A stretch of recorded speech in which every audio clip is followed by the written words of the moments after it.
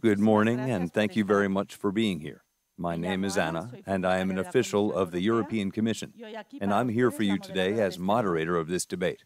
The debate is being broadcast live on the web with simultaneous translation into English. The people here in the room, and also the public watching us on the web, will be able to put questions to our guests. For those of you who are watching remotely, you can use the Slido application through a code that will appear on the screen from time to time, and a QR code so that you can connect. Now, please put your phones in silent mode, and I will invite you to look at the image we have chosen to illustrate this debate, which fits beautifully with the historical place we are in.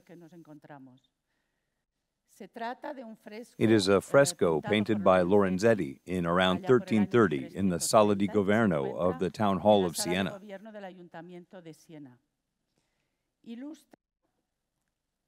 It illustrates good governance in the countryside and here today we will also talk about good governance. Today's debate is part of the Markets for People debate series, devised by the European Commission's communication expert, Ubaldo Stecconi, who is sitting here in the room. So, what is Markets for People?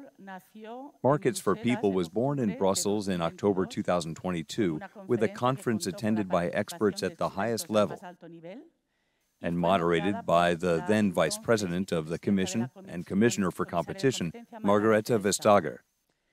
It is very clear markets should be at the service of citizens and not citizens at the service of markets. That is the message of Markets for People, and that is the message we have been walking through several European cities since then. First it was Modena, then Salzburg.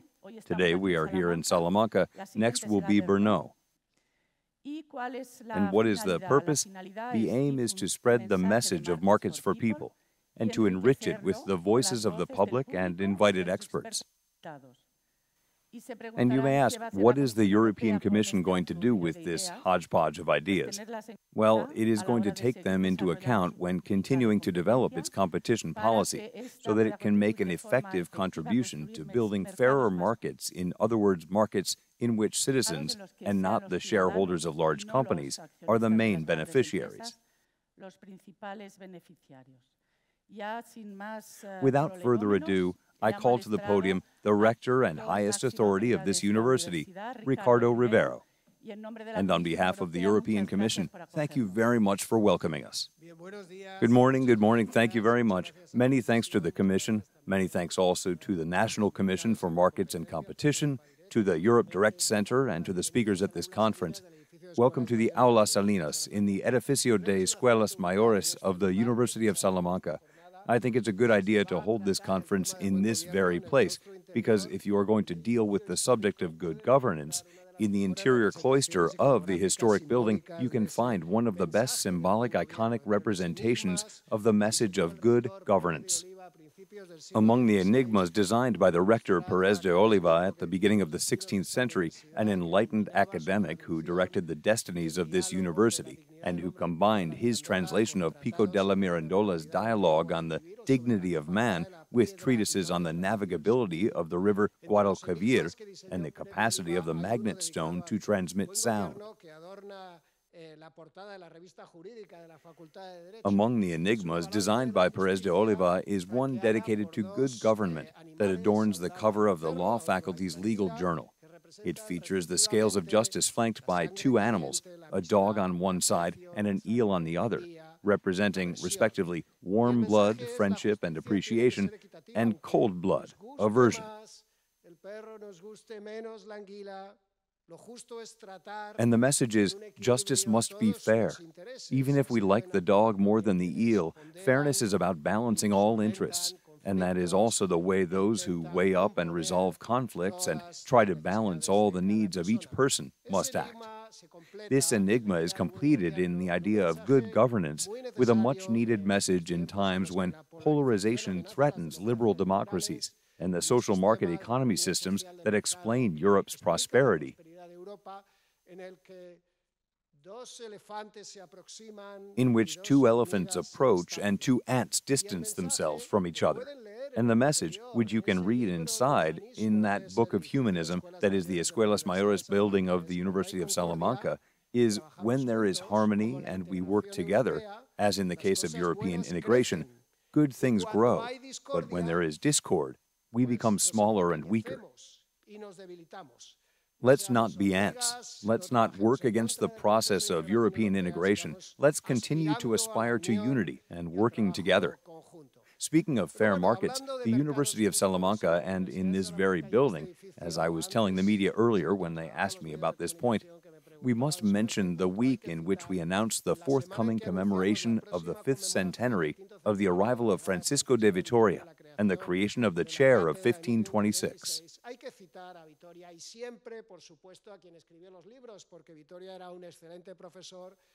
Vitoria must be cited, and always, of course, whoever wrote the books, because Vitoria was an excellent teacher, but we only have his notes, the ones taken by his students. Vitoria published fundamental texts in those volumes on justice and law about the organization of markets. Because in Domingo de Soto's time, there was a very high level of inflation in Europe that affected people's living conditions and their access to basic goods and services.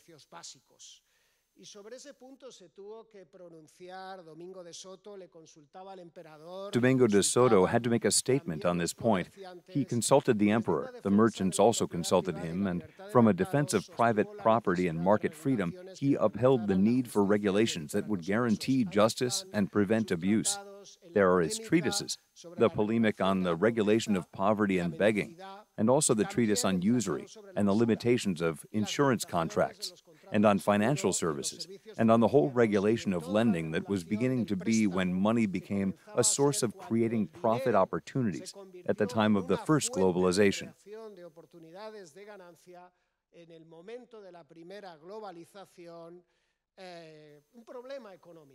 An economic problem. If anyone wants to know how to build fairer markets, they should read Domingo de Soto. And Domingo de Soto, I concluded earlier, recalling an anecdote that Salamanca should never forget and which speaks volumes about the role of the university in Europe. Domingo de Soto and Francisco de Vitoria, in the first half of the 16th century, did not limit themselves to giving very good lectures to their students and writing excellent treatises on monetary theory, usury, poverty, and insurance contracts, subjects that are so contemporary. Domingo de Soto and Vitoria, when there was a great shortage and some speculators kept wheat in their warehouses, causing a famine in Salamanca, they moved and went to Toledo and brought wheat in wagons to feed the population. They preached and gave out wheat. This is what all European institutions and all national institutions have to do if they want to maintain the legitimacy of the integration process and democracy and the social market economy model.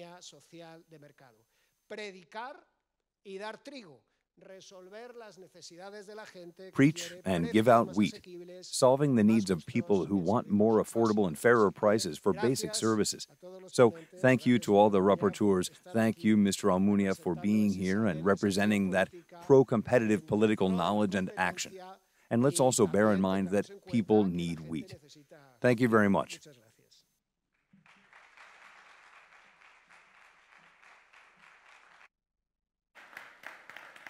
Muchísimas gracias, señor rector. Thank you very much, Mr. Rector. We have heard him. We have heard him preach and give wheat. The rector has to leave us now because of his busy schedule, but we are now going to hand over to Cani Fernández, the president of the Spanish Competition Authority,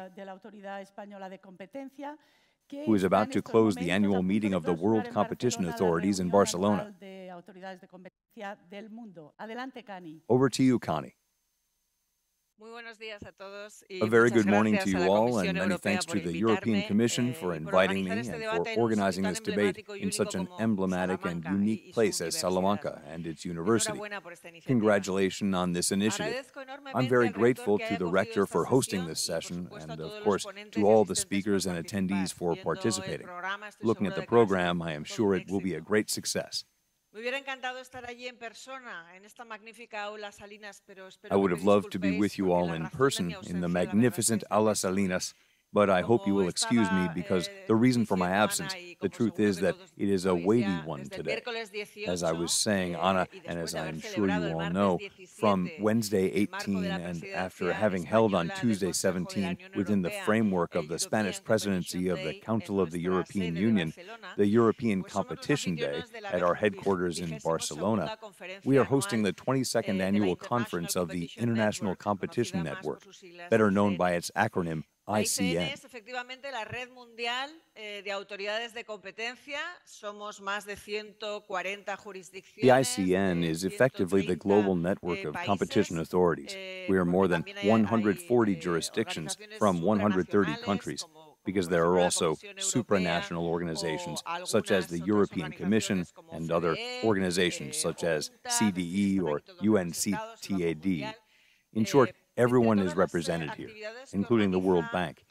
Among all the activities organized by the ICN throughout the year, the annual conference is the most important.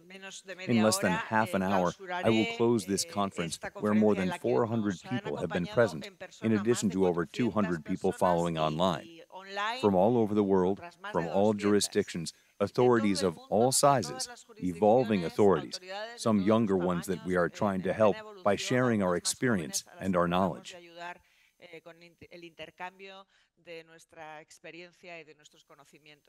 During these last few days, we have discussed many issues, but many also related to the promotion of competition, very much related to the question we are asking today at this event how can we make markets fairer?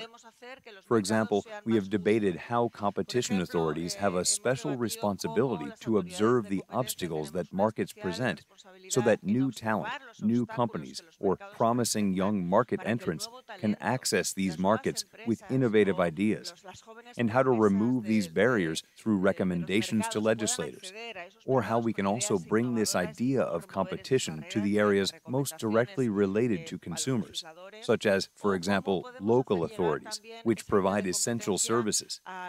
How to ensure that they do so in terms of competition in order to be more efficient in such important areas as health, education, transport, in short, services with which we are confronted every day and which can always be provided more efficiently and with greater competition. The promotion of competition plays a fundamental role in our work as competition authorities.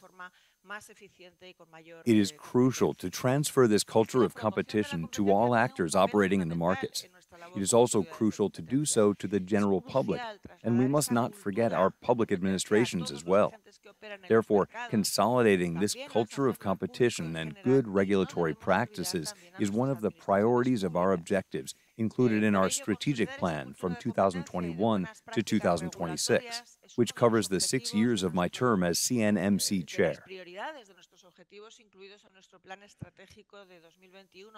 In fact, competition policy is a necessary, essential instrument, I would even say, to promote a rapid, sustainable economic recovery, which helps us achieve these objectives of double transition, both ecological and digital but which is also inclusive, which also has a focus on the most vulnerable groups.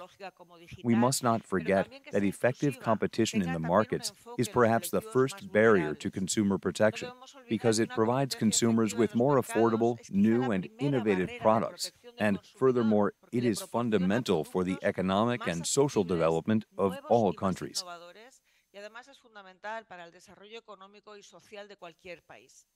For businesses, for example, competition is a way to promote equal opportunities and to reward and stimulate entrepreneurship, merit, innovation, and effort. Ensuring effective competition in markets improves productivity, facilitates innovation, and promotes greater growth. And furthermore, we have no doubt that this is what can best provide benefits to consumers because open and competitive markets make it possible, as I said, to reduce prices as well as increasing the choice of goods and services available, and to improve the quality of these products and services.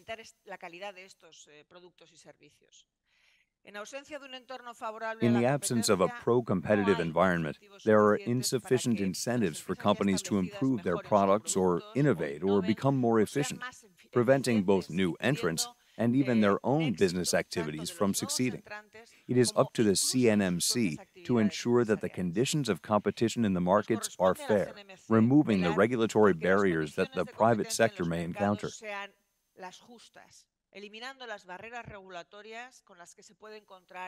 We must maintain what we call the level playing field of competitors and identify those barriers.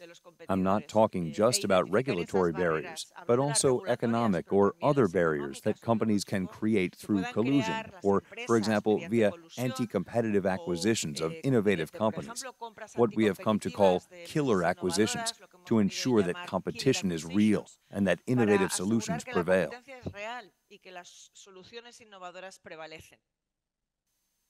And for this, we have not only the instruments for prosecuting anti-competitive conduct, but also these specific instruments for promoting competition, which I believe are going to be widely debated today. I'm going to give some examples of actions that we have recently carried out in the CNMC.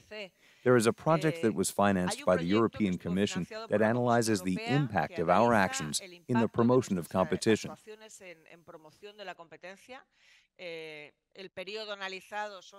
The period analyzed covers all the actions we have carried out from 2013 to 2019. Two external consultancy firms won this tender from the European Commission itself and concluded that more than 60% of our recommendations made concerning advocacy, in other words, in competition advocacy, have been followed by their addressees. We also challenge administrative acts and regulatory provisions before the courts with a lower rank than the law, when they impose barriers to access to economic activity, for example. Or a project of which we are particularly proud, which we call Municipalities and Competition, which just this Wednesday received the ICN and World Bank Award in the Competition Advocacy Contest, in the category of Strengthening Institutions to Achieve Better Results in the Market, and which allows us to evaluate those initiatives that improve the quality of the interventions of the competition authorities. In this case, we have carried out this project in collaboration with regional competition authorities in Spain, but we have mainly involved municipalities, choosing success stories in which precisely a more competition-friendly intervention has created benefits for consumers, because it is essential to spread good news concerning competition, right down to the last town hall in Spain. In short, market intervention measures through regulation or public procurement, which is also one of our priorities, must be competitive, or the granting of public aid, which can also generate distortions in the markets, must be pro-competitive. To this end, it must be ensured that, in all cases, they comply with the principles of good regulation, proportionality, necessity, and non-discrimination.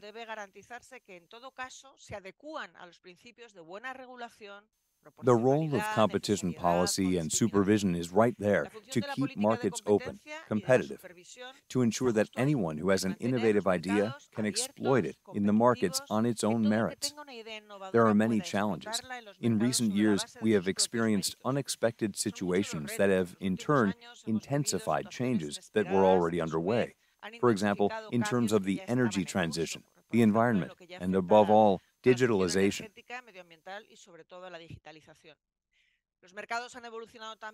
Markets have also evolved at a dizzying pace, and the administration must accompany and exercise its powers to ensure that they function correctly, avoiding those distortions that can end up having a negative impact on consumers and businesses. And at the CNMC, as a key institution for economic development, we are fully aware of the importance of our work, and therefore our efforts are focused on correcting the failures observed in the market, ensuring that these markets function competitively and in a way that favors economic and social development. Events such as this one allow us, on the one hand, to effectively disseminate the importance of competition, and on the other hand, provide us with a very, very important opportunity to listen, debate, and learn in order to improve. I reiterate my sincere thanks and congratulations, and I am sure it will be a very fruitful and enriching debate for everybody. We will be represented there by our Council Secretary, Miguel Bordiú, who I am sure will convey our messages in the best possible way. Thank you very much to all of you, and may it be a success. Thank you very much, Carmen. Estupendo este mensaje de Cani Fernández. Great message from Cani Fernández. Now I'm going to turn to someone who is in the audience and who is the president of the Academic Network of Competition Law in Spain, Professor Eugenio Olmedo from the University of Malaga, and I would like to invite him to share with us his thoughts about Cani's words.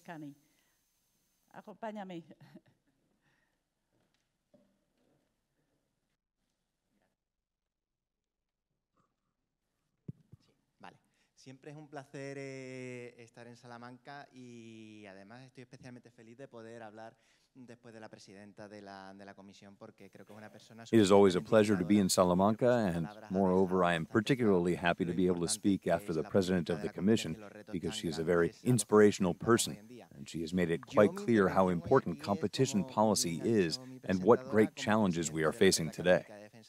As my presenter has rightly said, I am speaking here today as president of the Academic Network for the Defense of Competition and trying to highlight the role that the Academy or competition law scholars can play in order to promote more dynamic markets, more open to competitive operation, and that serve people, a functional market for citizens. Y en ese sentido, nosotros constituimos la Red de Defensa de la Competencia hace ya nueve años and in this sense, we set up the Competition Defense Network nine years ago, combining the efforts that many other professors had been making independently, mainly in commercial law, but also in administrative law and private law and criminal law. We came together from all disciplines with the aim of also providing some doctrinal support, some support with our studies, our research into the ways in which competition law should evolve. As the President pointed out, we are at a very important moment in time to engage in the study of competition law because we are facing challenges that are certainly very stimulating.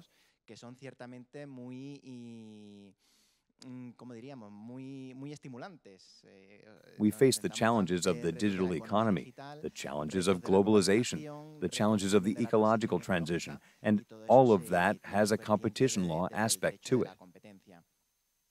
In relation to what the President has said, I believe that we are at a very important time for analyzing situations such as mergers and monopolies.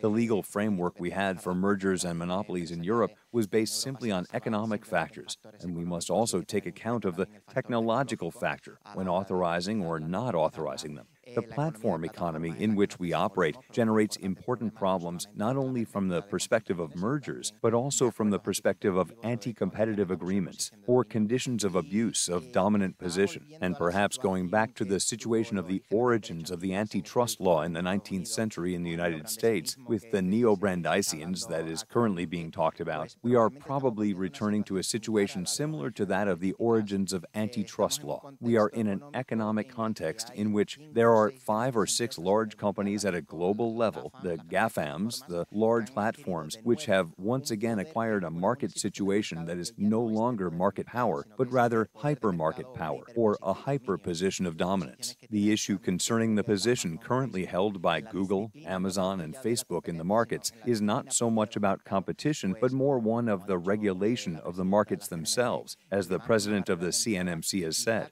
it's about building barriers to entry that perhaps cannot be adequately addressed by means of the competition instruments that we traditionally had, and it is thus necessary to rethink and combine the efforts of competition law with those of economic regulation. We have done it in recent years with the Digital Markets Act and the Digital Services Act, as well as with the Data Act. The law, the regulation of artificial intelligence, and all these instruments have to be coordinated as well to regulate markets that work for citizens. There is, as you can see, much to be done. Thank you very much, Professor.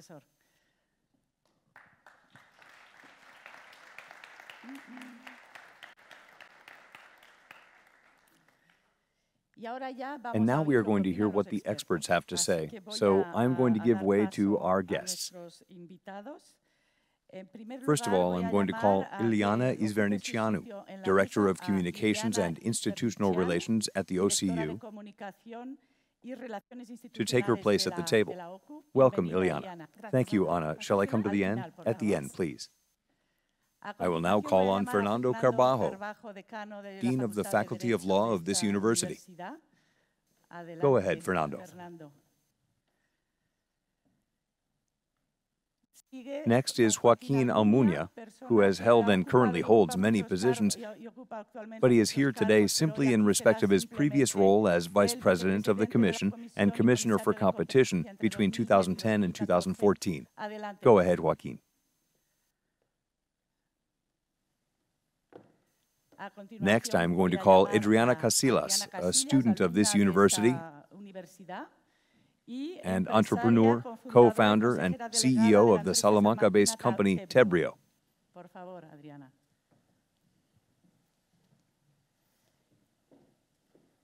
And finally, Miguel Bordiú, whom Cani Fernández has already named, the representative of the highly respected Spanish Competition Authority.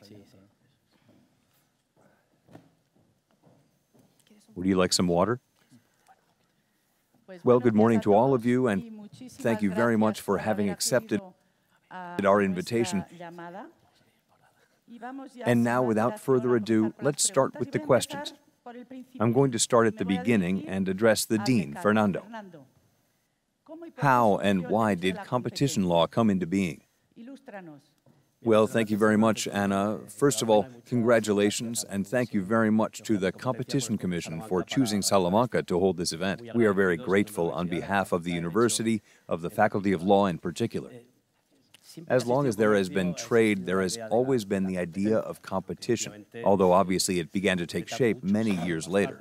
There has also been the temptation to avoid competition, to broker agreements between traders, or indeed to hoard products or services in order to achieve the greatest market power.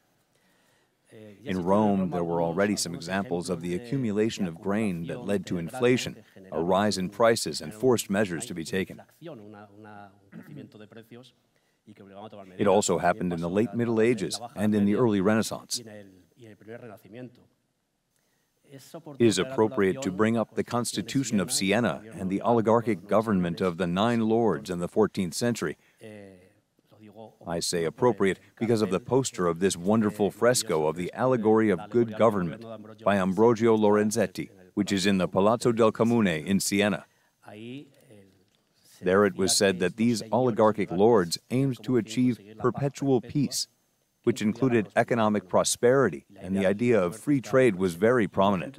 And there were also examples of price fixing to avoid the temptation for some traders to accumulate power, with grain being the perennial item at stake. I must mention the School of Salamanca, as the rector said in the 16th century, Father Francisco de Vitoria, Domingo de Soto, and Martin de Azpilcueta, who passed through these classrooms and developed the idea of fair prices and the free market. They did it from a theological perspective at the beginning to avoid greed, to avoid avarice. But they objectified their assumption towards the development of economic principles that went, that then expanded and came.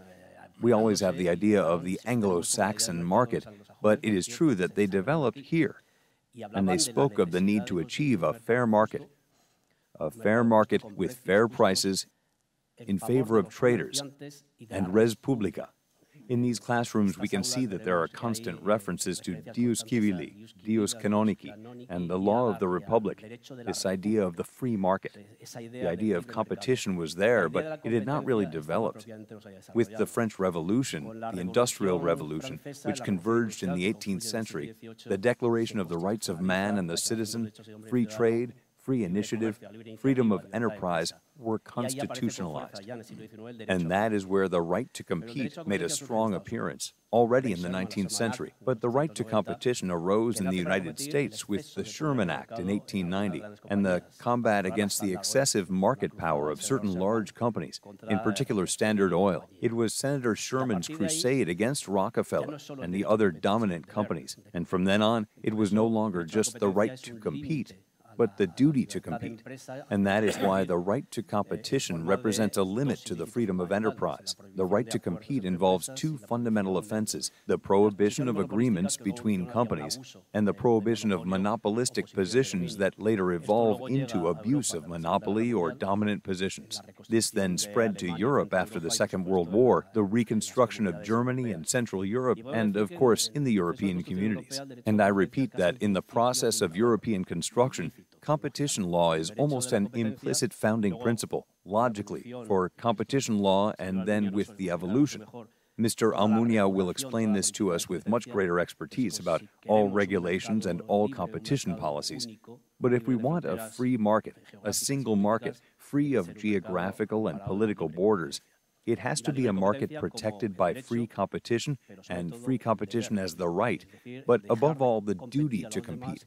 That is to stop competing with others so that everyone can fight in the markets on their own merits. This is the concept of competition on merit or competition for efficiency, and we have come this far in a complex evolution where agreements between companies are fought, monopolies are fought, always with exceptions, because obviously the right to power evolves towards an examination of efficiencies and inefficiencies in the market. But we will talk about this a little bit later on. Certain conceptions of competition law have facilitated the accumulation of power, and in digital markets, we find ourselves once again in situations of excessive power. And perhaps we need to revisit the founding principles of antitrust law in the United States. What is the basic objective of competition law? To compete, to fight power, the accumulation of power, and the excesses that this accumulation of power entails. Thank you very much. It's very, very interesting. We are now going to move on from the origins. We are going to jump to the future, and I am going to address Joaquin. Joaquin, a follower of our social media, believes that in order to achieve fairer markets, we need to focus on the competitiveness of European companies so that they can compete with solvency with companies from other countries that are subject to less stringent regulations. What do you think about this, and is this the way forward? Well, I think that first of all, we have to clarify the differences between the concept of competition,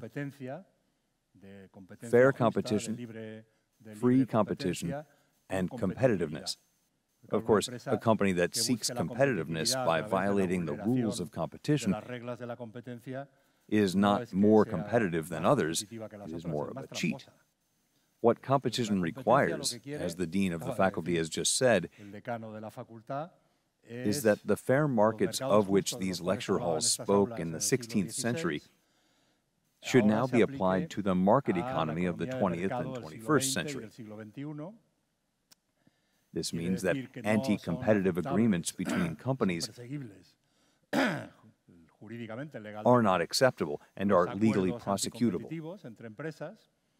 cartels that are assembled in a series of companies, as Adam Smith said already in the 18th century, in one room.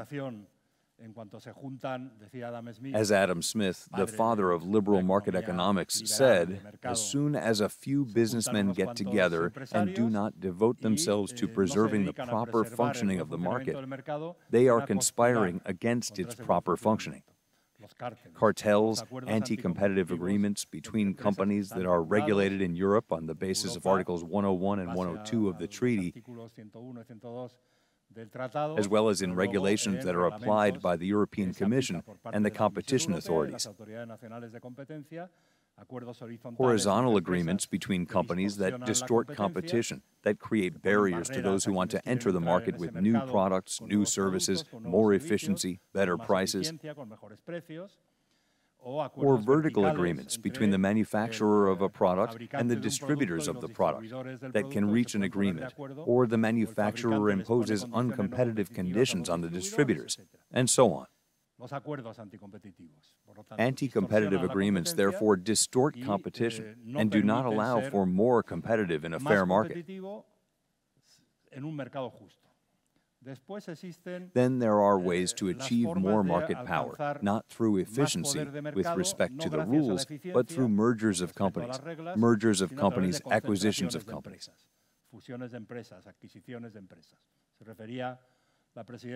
The president of the Commission for Markets and Competition in Spain, Cani, was referring to what are called killer acquisitions. Very powerful companies that buy out their potential competitors before they start to harm them with their efficiency and innovation, with their prices, or with the quality of the services they provide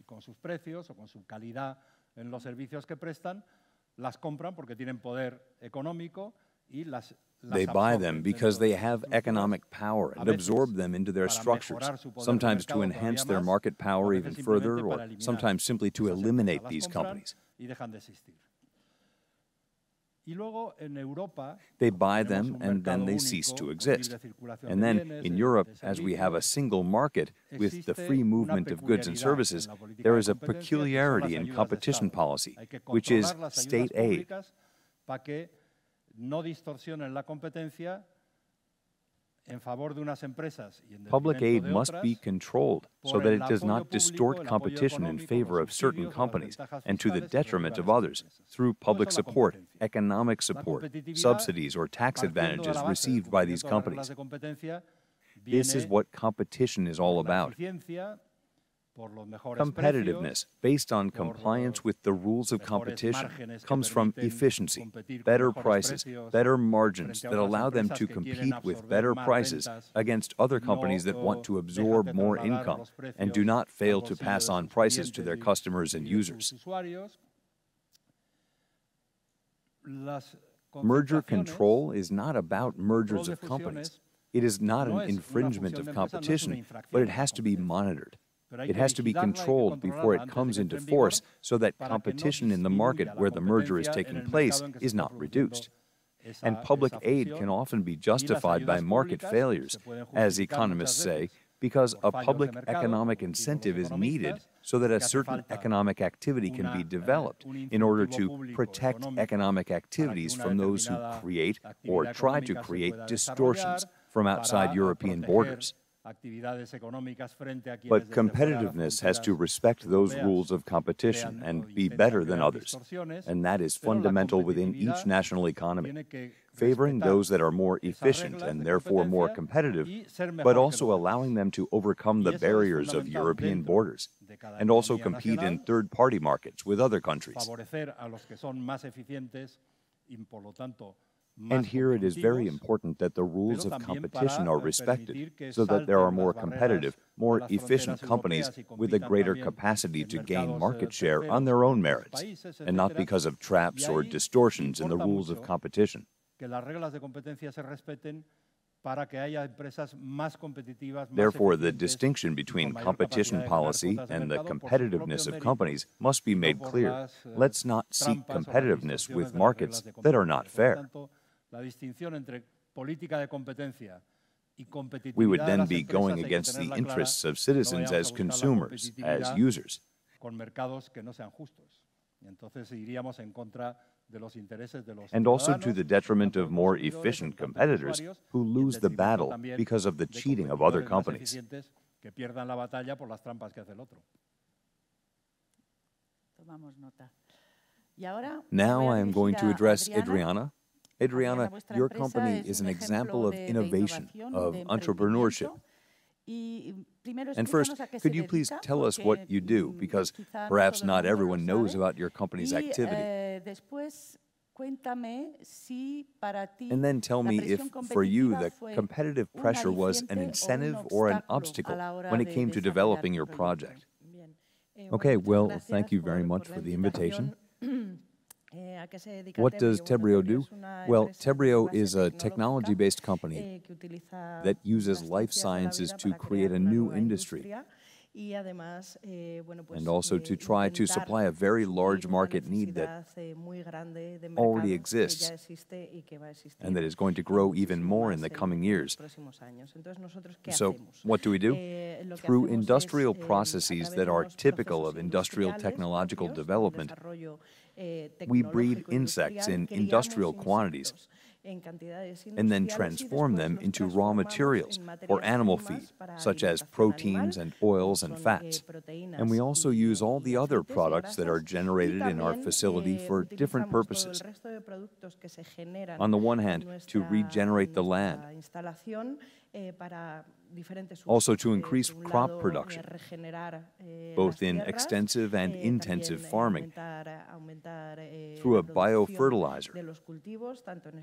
and on the other hand, also from the adult beetle, because this is an insect that has a form of life cycle, from the adult beetle, we extract a polymer,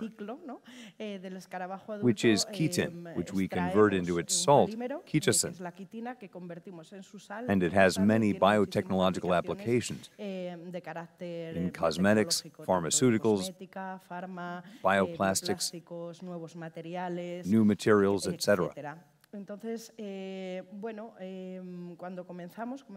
We started in 2014. The idea originated in 2012, but we always had one thing very clear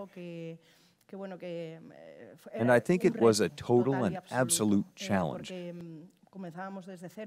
because we were starting from scratch. This business model did not exist.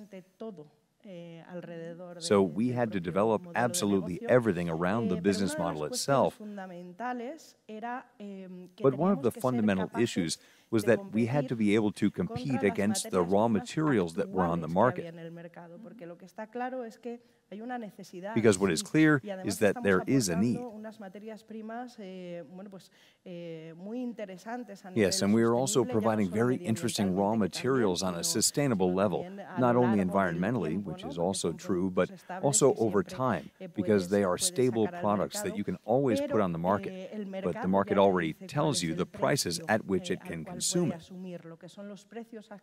They are the current prices of, for example, fish meal if we are going to talk about the aquaculture feed, which is one of the areas in which we work. So that was a challenge for us because it made us organize the entire development of the project, investing a lot of money not only in product development, but above all in the development of the process models such as machinery, machinery that was obviously being designed by us because the process is unique.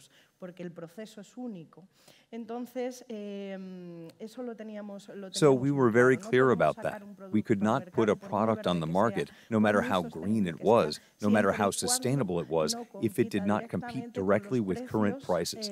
And I could even say, because it is one of the big problems in this animal feed market, I could even say that in the future they could be cheaper or more competitive than, for example, fish meal because we are not facing an unlimited business, fish meal, but less and less can be caught. There is less and less fish meal. So there is a need to find these alternatives.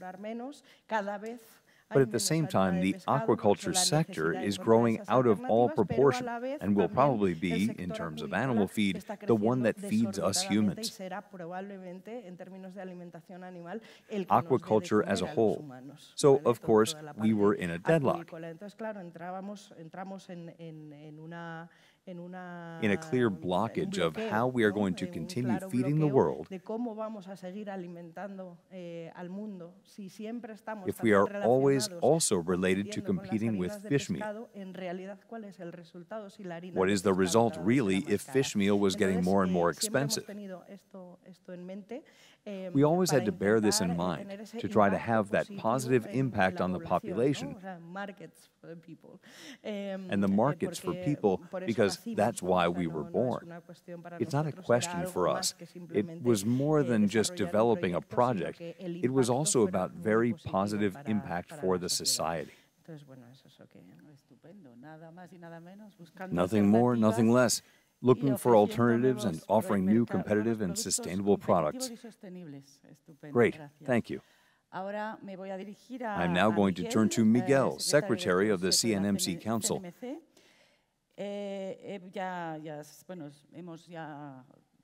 Well, we have already seen that the Spanish competition authority plays a very important role and is highly respected in all international forums and carries out a lot of work in terms of promoting competition. You have recently published a study which I recommend everyone to read and which talks about competition and inflation. And I wonder, what has competition got to do with inflation? Well, thank you very much, Ana, and I reiterate the words of my president, thanking both the university and the commission. I believe that this type of event has much, much to do, both for the people attending and for those of us who are here as speakers, with the final idea of the event, which is to reach the citizen through competition. You always have the feeling, both as a competition authority and as a regulatory authority, that citizens often demand simple solutions to complex problems. And in this need to provide these solutions, I believe that, in this case, the CNMC as an independent authority, has a series of obligations in terms of communication, in terms of being didactic in what it approves, but also in terms of always thinking that its actions in relation to the market, both in its regulatory and supervisory sphere and as a competition authority, must never lose focus of the fact that the citizen is the ultimate addressee. We are looking for good markets, but so that they favor the citizen. In this sense, I believe that the issue you are asking me about is is very logical, and specifically the guide we have approved, which deals precisely with one of those key elements, in our opinion, from the perspective of promoting competition, which is how to link a phenomenon that affects us and I am not speaking in the third person singular, but that affects us daily in every visit to the supermarket, every time we fill up with petrol, every time we do any of our daily shopping. What does this have to do with competition? The general framework here is precisely this week, as the president said, we had the European Competition Day, the ICN in Barcelona. And I think it was an idea that both the European Commission and the General Director for Competition, as well as the Commissioner, the government itself at the European Competition Day, and I think the Secretary of State commented on it. All the competition authorities were saying that we should be careful in times of major crises or major situations of a humanitarian, warlike, or health related nature, as unfortunately we are suffering and have been suffering in recent times, we must be careful here because this is where competition policies, precisely because they do not seem to be in the front line, take on special importance. And it is especially important that the competition authorities, I understand from their advocacy work, encourage this to always be in the spotlight, because the result of all these crises is normally a very harsh effect on the market, and therefore on the markets, and therefore very harsh for citizens. So if the focus on the values and principles of competition is lost as a result of these situations, which are of course extraordinary, the future consequences, I must insist on this point, not only for the markets, but also for the citizen, who is the ultimate recipient of the market markets are very serious. And it is in this context that the idea of approving this guide to inflation competition arose, which attempts to link these two phenomena and seeks to demonstrate, based on the very good work carried out by the Department for the Promotion of Competition, the CNMC, and the Council itself in its approval, but also by taking up the issue. I remembered when Professor Eugenio Olmedo spoke of this collaboration, this need to interact with the Academy also taking up the main doctrinal positions on the issue, how this phenomenon of inflation can be tackled from a competition perspective which is certainly not the first tool that comes to mind when talking about inflation, which is probably more linked to monetary policies, to other different issues. But to highlight this, because what it shows is that it is necessary, especially to protect those most affected by inflation, who are always the people in the greatest difficulties in society, that there are competitive markets, that there are efficient markets that allow these major crises to be tackled with greater stability and within the possibilities to reduce price rises. Y por eso eh, esta guía tiene dos grandes objetivos, que es seguir con la promoción. And that is why this guide has two main objectives. Firstly, to continue with promoting the culture of competition to make citizens, companies, and all those who are interested in competition aware that competition also improves the situation of citizens, improves their possibilities, and will ultimately affect their purchasing power. And secondly, to demonstrate specifically with concrete tools, both for companies and for public public administrations, cómo se puede how competition can be used to mitigate the effects of los efectos de inflation. And here you can see within the guide that there is extensive content that I also recommend reading because I think it is very well thought out creo que está so that it can be read and so that the citizen can understand it on a general level. Bueno, para que el ciudadano pueda llegar a ella en un, nivel general, pero eh, se, se plantea, eh, primero, cómo una buena competencia mejora la oferta, mejora la eficiencia en la producción y sobre todo But if it is considered firstly as mitiga en la good medida de lo posible competition, it improves supply, improves efficiency in production, and above all, eh, eliminates or mitigates, as far as possible, the incentives that companies may have in certain contexts not Eh, to modify them or to maintain prices and to affect inflation. eh, It has an impact on how a competitive economy with flexible markets, with efficient markets, can better withstand sudden la changes in the economía y, por economy, and therefore eh, prevent the citizen from receiving the full weight or the full cost of these changes that are alien to him or her. esos cambios que le son ajenos. Se hace alusión también a una, a una cuestión que a nosotros como autoridad integrada también nos preocupa mucho y nos, no- nos interesa mucho, que There is also a reference to an issue that we, as an integrated authority, are also very concerned and interested in, which is how the regulation of certain Within this idea of promoting good, esta idea de la efficient markets, todos los mercados, efficient markets, and this whole idea of competition in all markets, mercado de la energía how in certain mercado de los markets, such as the energy market, the transport market, parte de la which are also subject to parte de la regulation and supervision by the CNMC, how the effect of good markets in these strategic areas multiplies the positive effects on all prices in the whole market. todo el mercado, porque evitar la, la inflación en, en los precios de la energía, Because en los precios avoiding transporte, inflation in energy prices, in transport prices, is going to have para todo el sistema repercussions for the entire Por lo tanto, economic system. otra idea que nos preocupa Therefore, it is also another idea that worries us a lot. como decía al And in general, as I said at the beginning, it can reach the citizen. eh, It can reach the se llegue al citizen and ciudadano y que se reduce these price rises eh, and this inflation that is so detrimental to them. Le perjudica tanto. Y todo esto apoyado, como decía, en estudios And all of this is supported, as I say, by doctrinal studies, which also analyze the other en las que side. That is to say, how in situations where this does not occur, inflación, perdón, nos namely in infringement eh, contexts, we find markets eh, in which the principles of competition have little weight, how the effects of efectos de la inflation are much worse for the citizen peores para el and in general affect the market eh, in a much more mercado de manera unfavorable way. Estupendo. Muchísimas gracias. Thank you very much. a hablar de Now we are going to talk about consumers. That's why I have Eh, Ileana here. Your organization también tiene una also has a contribution to make to this cause. Explícanos qué puede hacer Please tell us what a consumer association can do to promote fair competition and ensure freedom of choice for the consumer. Thank you very much, Ana. And first of all, of course, I would like to thank the European Commission, the Directorate General for Competition, and the University of Salamanca, which is so kindly hosting us to organize this event.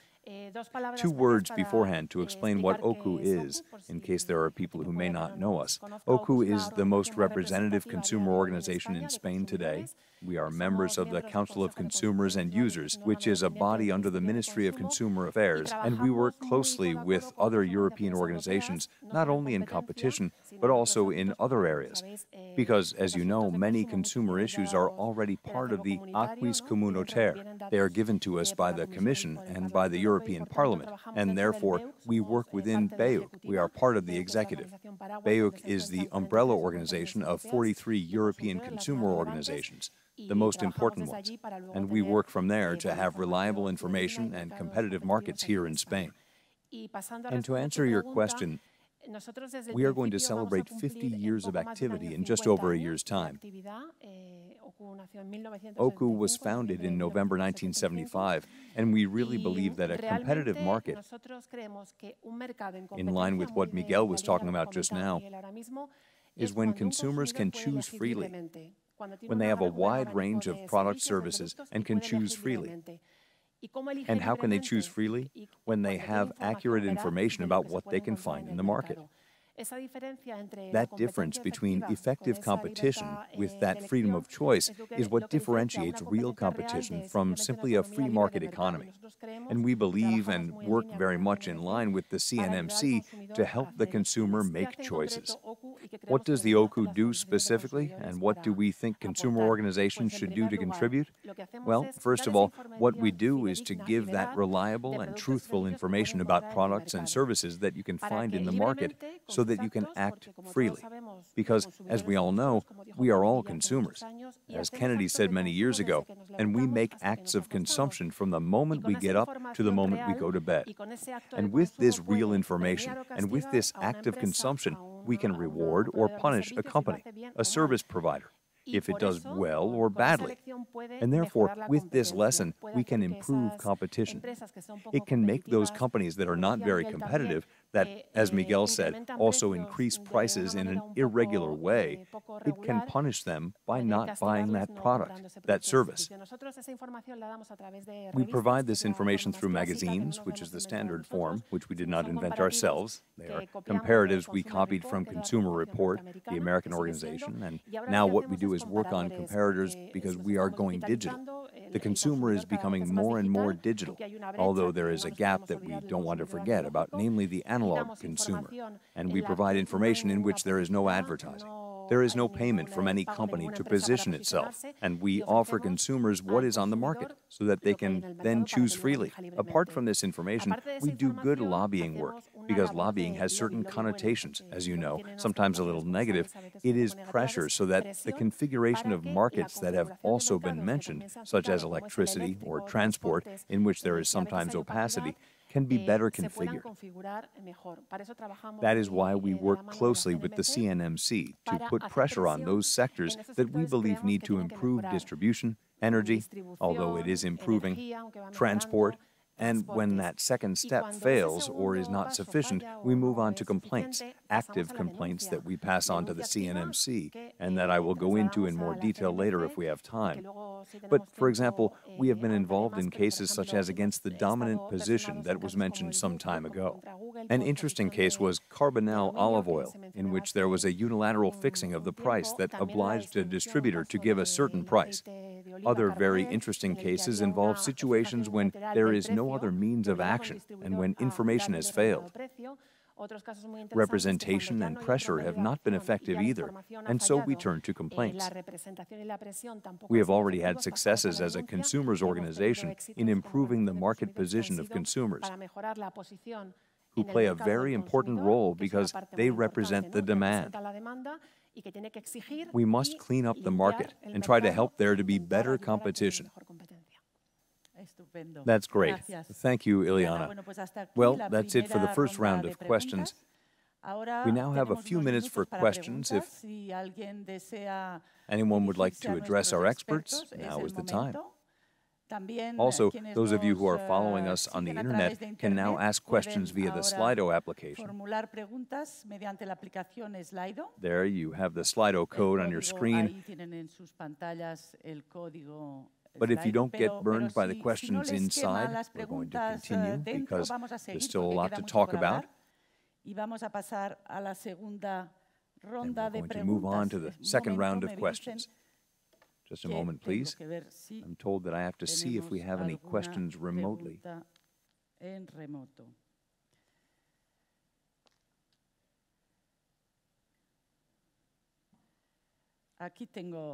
Here I have a question which is going to be, well, I'll put it openly to all the experts, and whoever feels most comfortable with it will take the floor. The question is this: How can consumers defend themselves if they are victims of a competition infringement? Miguel, maybe? Miguel? Eh, Well, the simplest answer is to bring it to the attention of the competition authority.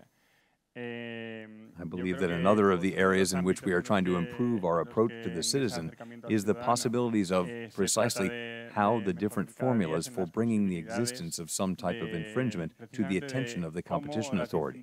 There is the complaint in its most classic sense. It is the typical tool of leniency in the field of competition.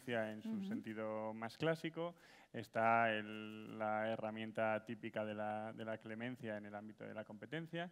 The whistleblowing directive has recently been transposed into Spanish law, and completely anonymous channels of complaint are being encouraged in the case of certain infringements detected in the field of work and business, and whose consequences, any negative consequences, are to be dealt with. y respecto de cuyas eh, consecuencias, eventuales consecuencias negativas, se quiere, se quiere reaccionar. And I believe that, in general, the idea is to promote the idea that citizens, in almost any way, can bring to our attention what they obviously consider to be an infringement, without prejudice to whether or not this leads to the initiation of a procedure, with all the guarantees and with the Commission's investigative tools. Thank you. I think Ileana can puede completar la complete the answer. Yes, I wanted to take advantage of this excellent question to go a little further. Although there are experts here, especially the CNMC, the channel that Miguel said is correct through consumer organizations as well, but then there is a but. When there is a decision by the CNMC, by the Anti Competition Authority, consumer redress is very complicated. In order to do that, you have to take civil or commercial legal proceedings, as can happen right now in the dealer cartel, in which there is a sanction ratified by the Supreme Court, in which there was a cartel, there was a price pact involving all manufacturers and dealers, a lot of Spanish dealers, which created harm for the consumer, real harm, because they had bought more expensive cars than they could have done from 2006 to 2013 the cartelized period. And there is a decision by the CNMC, I insist, ratified by the Supreme Court. Well, in order for the consumer to be compensated and to recover the money, they have to initiate legal proceedings. As we all know, it is costly, long, and tedious. We are faced with very powerful lawyers in front of us. The automotive sector in Spain is a powerful sector, and therefore we would have to think about here I launch some way in which there would be immediate compensation, because what is happening right now is that the consumer either joins a collective action or has an easier option because he has a family member, a lawyer, or he gives up and is left without compensation. So I wanted to provide you all with this food for thought. Fernando. Yes, in relation to this, one of the most topical issues in competition law concerns actions for harm arising from anti competitive offenses. We have the example of the lorry cartel. Now we have the dealers cartel. When we talk about compensation for years, we go to tort law, to civil law, and here the tort has to be determined and quantified. We are seeing this in the very many court rulings that have reached the Supreme Court in relation to the lorry cartel. In other words, in the end, the compensation is minimal. We are talking about very small amounts, and this when we talk about lorries and cars. If we moved on to much smaller products, the defense of consumers regarding harm arising from anti competitive offenses necessarily involves an adequate structuring of collective actions, which is a very important regulatory deficit in Spain. The European Union is now working on a new regulation that brings us closer to or facilitates the exercise of collective actions, above all through consumer organizations. In common law, there is the figure of punitive damages, which is what I was suggesting that there should be an immediate compensation once it is accredited or there is sufficient evidence to presuppose the existence of harm. Then the damage is objective. Our legal tradition is based on the compensation of compensation actions. And that leads us to this need to demonstrate the damage and quantify it. It is a debate that was already in the directive on harm in 2014 and a debate that had been going on for a long time from the Green Book, the White Book. But in the end, an attempt was made to move towards a more punitive model. But the tradition was respected, and the truth is that it is not effective. It does not work. It does not work efficiently to protect consumers in this field. Yes, Joaquin.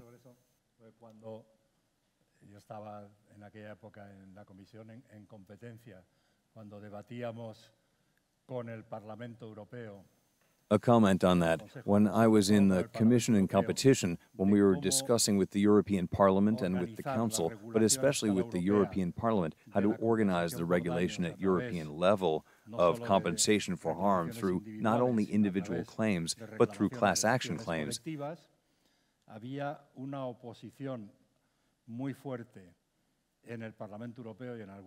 There was very strong opposition in the European Parliament and in some governments because they thought that this would lead to importing to Europe the abuses committed with class actions in the United States.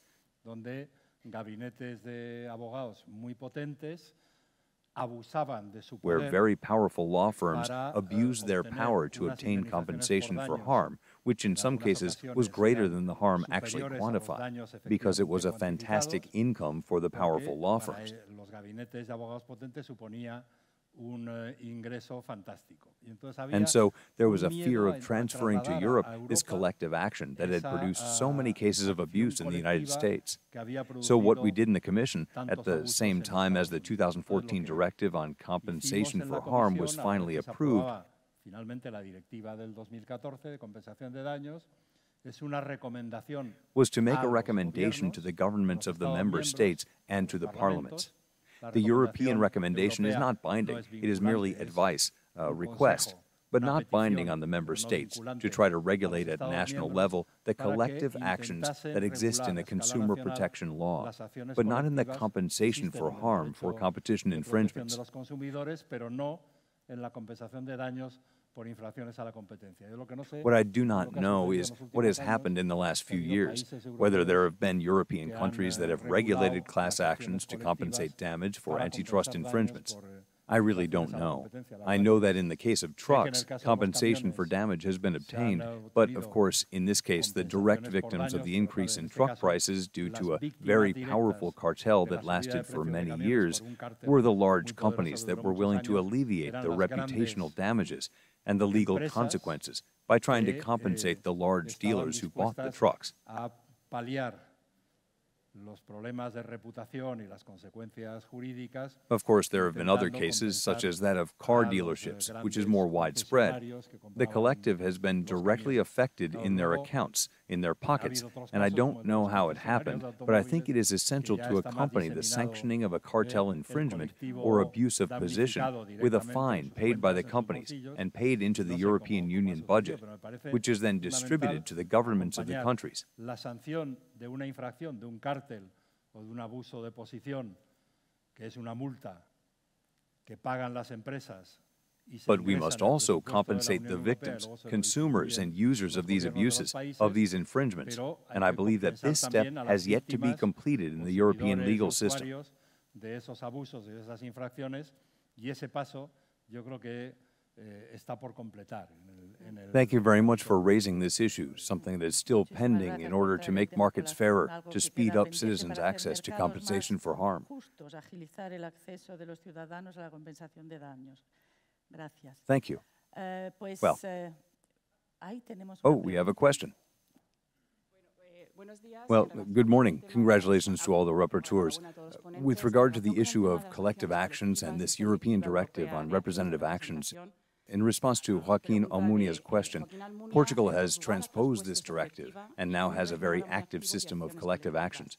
In fact, some consumer associations, for example, Ius Omnibus, are already bringing more than 25 collective actions, are in the making because they are very long processes. But Google is being sued.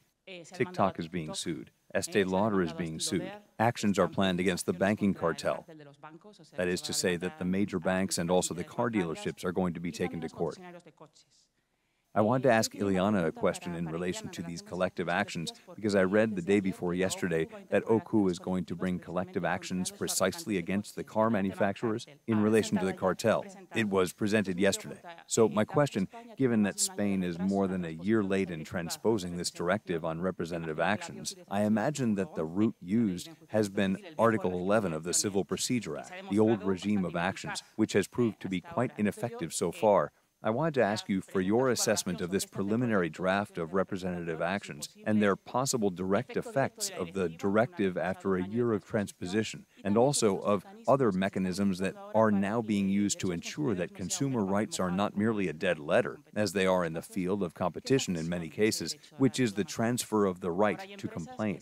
Now there are companies like cartel damage claims or other companies that, given that a consumer does not go, or even a businessman or a company will not claim these damages given the difficulties of the process, the company acquires the right to claim. And well, I think that they have been quite effective. For example, with flight delays, even if it is out of competition. So please consider this option because although some judges defend them, other judges have been quite reluctant to accept this transfer of rights. Yes, thank you very much for your question. In fact, what we use is the Civil Procedure Act. As a representative association, we have the legal standing to take this type of action. We have been doing it for a long time. We would like the directive that has already entered into default in Spain to be transposed, which I believe is going to be transposed shortly, because if there is any modification, any improvement, such as the one you are mentioning, the entry of litigation funds, as is already happening in the United Kingdom, has a lot of history. And we believe in principle that if there is transparency, there is nothing against it.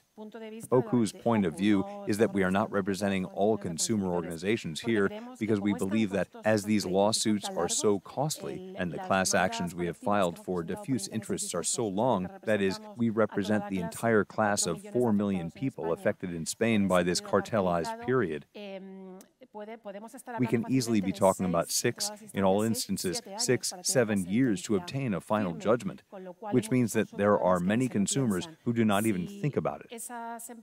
If these companies acquire the litigation rights and, in the end, basically work to succeed, they are, as I understand it, a part of it. In other words, they don't have to make any provision of funds. When they get the compensation, they are deducted for all this service. So, in this case, we believe that it can speed things up. The directive provides for this. The other European organizations we work with through BEUC are also pro. They don't see anything against this, as long as, I insist, there is transparency, clear causes, all the conditions in large print. If there is no small print, there would be nothing against it. Because we believe that this could, at least initially, encourage consumers to take the plunge, to lose their fear of suing these types of companies that make collusive agreements. Excuse me, I'm going to ask you to tell me your name, please, and then if Fernando would like to add something to the answer. Very well, thank you. And a member of the academic network. That's great. Fernando. In the Republic of Ireland, there is already a consolidated system of class actions for the protection of collective and diffuse interests, and an action has been brought against Facebook under the adhesion system, which is very typical of the Anglo-Saxon system. In other words, someone brings an action, perhaps a law firm, as Mr. Almunia said earlier, and consumers can join in. But the average amount of compensation is 60 euros per user. You have to be very keen to join the initiative. Another thing is that we may be talking about vehicles, but in an individual action against a dealer, it is possible that the expert's report will be more expensive than the compensation that is finally received. If there are no condemnation costs, well, obviously not. There is the consumer initiative has to go through a class action. Otherwise, it is very complicated. It is indeed. So we have a lot to do. Yes. Okay, well, thank you. Let's move on now to start. Ah, sorry, another question. Please say your name before asking the question. If you would stand up, please. My name is Ricardo Fernandez, and I would like to ask you.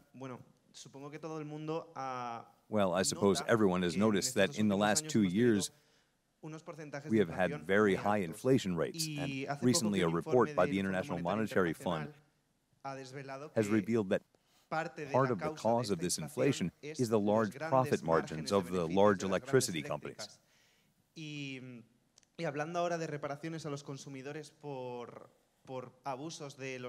And speaking now of consumer redress for abuses by the cartels in the transport industry that happened several years ago, I would like to ask what action can the citizen, the government, the union take to claim redress for something that we are all suffering from, which is this huge rise in the cost of living?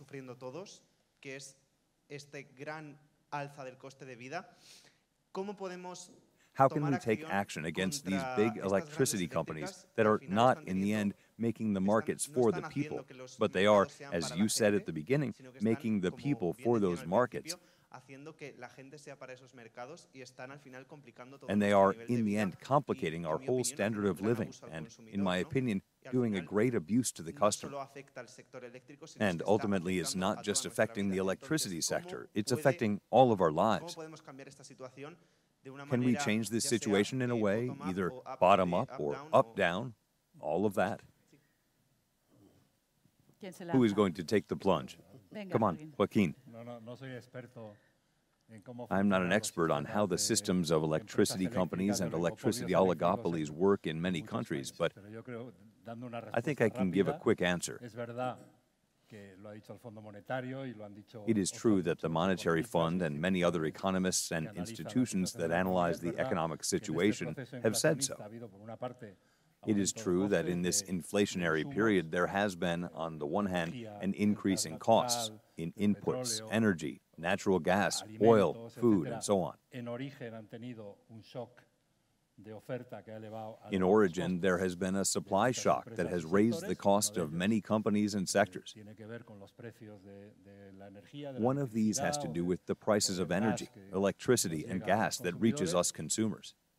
Y eso tiene dos And this has two answers, in theory. teoría. Luego hay que Then it has to be adjusted to each system, eh, to each cada- a cada country, or to país o a each type of organization of the electricity market, of the energy market. energético, lo que sea. Uno, los impuestos.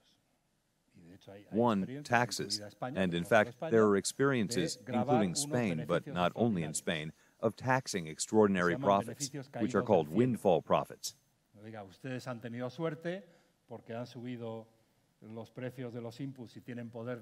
Look, you have been lucky eh, la because you have raised input prices and you have the market power to pass on the increase directly to your customers who need to receive the electricity you generate or the gas you supply.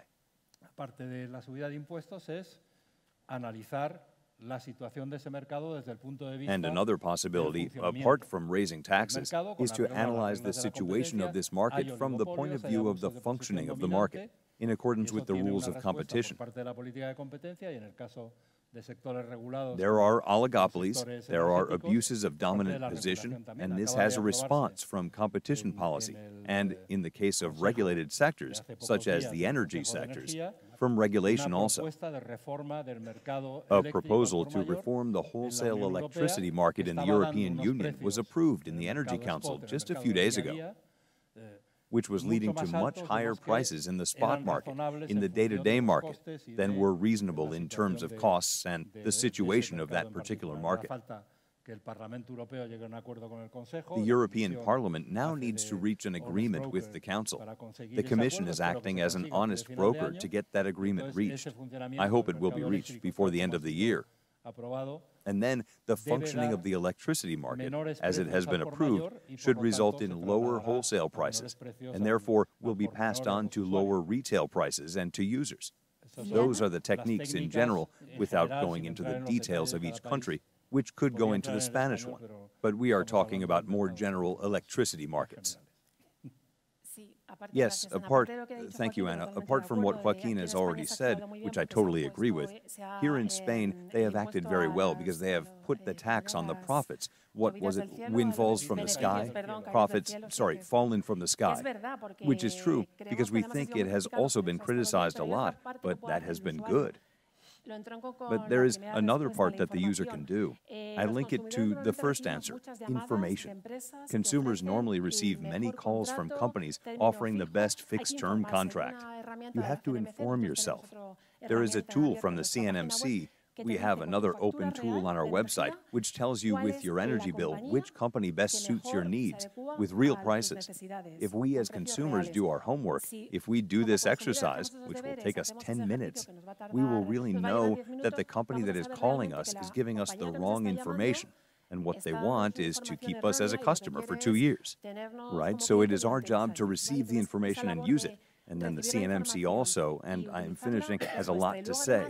For example, we denounced a company called Audax Renovables, which was engaging in unfair competition because it was using bad practices, making calls, offering, saying that they were offering the best contract, impersonating, saying that it was your own company, that it wanted to improve you. We reported it to the CNMC and it imposed a fine for unfair practices. So here, the role of the CNMC is very clear the role of an informed consumer, and then, of course, the Spanish government, which, if I may say so, has done very well in this case. And what Joaquin was saying about this pact that has been obtained in Europe very recently has followed very much the guidelines that Spain already did, that the Ministry of Ecological Transition proposed, which is why we have been pioneers here. Thank you. Thank you. Information also to reach fairer markets. A lot of information. We have several questions here in Slido, but I think we are going to continue with the debate because there is still a lot to discuss, and we will come back to them at the end.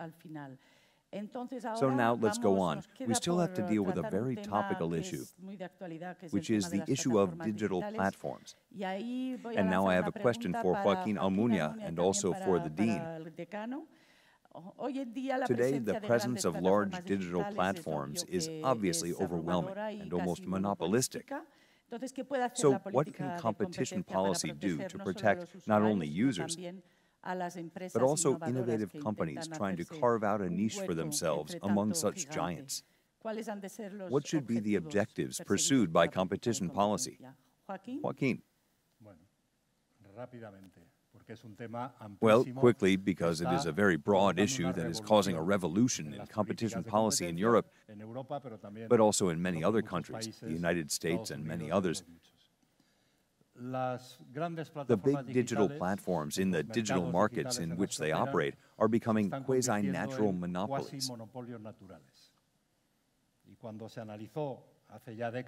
And when the existence of natural monopolies was analyzed decades ago, back in the 20th century, the solution in many countries was to create state monopolies. They say if markets generate quasi monopoly situations because they function in a way that the result of the market game is to generate monopolies or quasi monopolies, then the monopoly should be public, and then the corresponding state, through its government or the government of the country, should create a state monopoly. Its parliament manages this in the general interest. But in the case of the digital economy, it would be an illusion that would lead us to disaster to think that it is the states that should manage digital platforms because they point towards monopolistic or quasi monopolistic situations.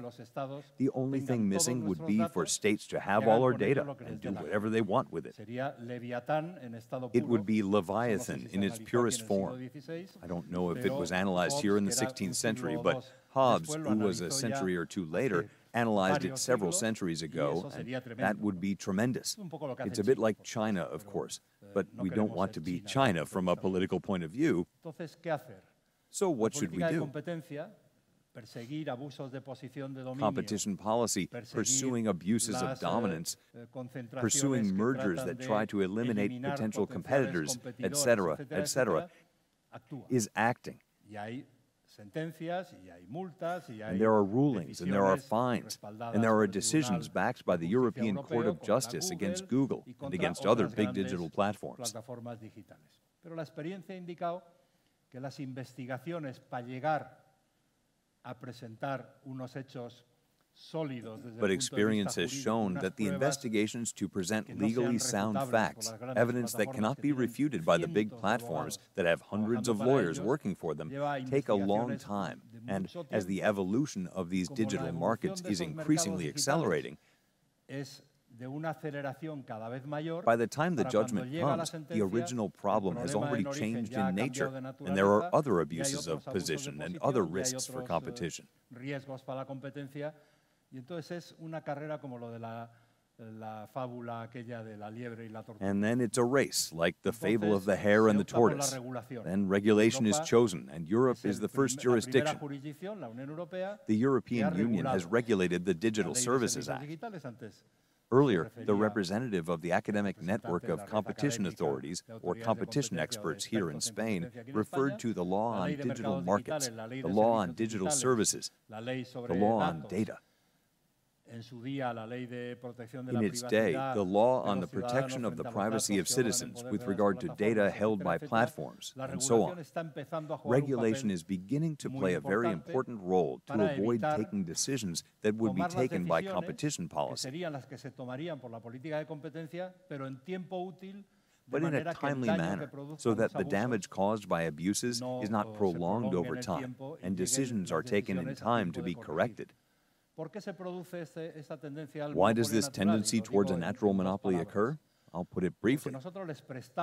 Because we lend them our data.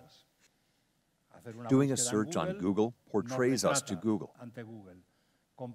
Buying books or any other product on Amazon portrays us to Amazon. And operating on a social network, whatever it is, portrays us to the owner of that social network.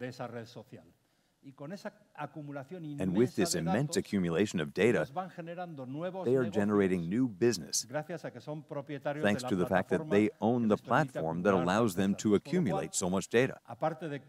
So, apart from having power over us, we give them the data for free in exchange for receiving a free service. But the data we give them is much more valuable than the services they provide us with in many cases. But in addition to that, they are eliminating competitors in all those businesses that open thanks to the processing of the data that we are providing them. So it is not only a risk for us of the amount of data in the hands of those platforms for what they want to do, but it is a risk that is removing competitors from the services that the platforms generate because of their market power and their immense accumulation of data. And that requires regulation, and it requires action as soon as possible. And this is even more the case in the age of artificial intelligence, which is developing at a tremendous speed and going after Microsoft for ChatGPT or whatever you call the generative artificial intelligence that Microsoft or Google has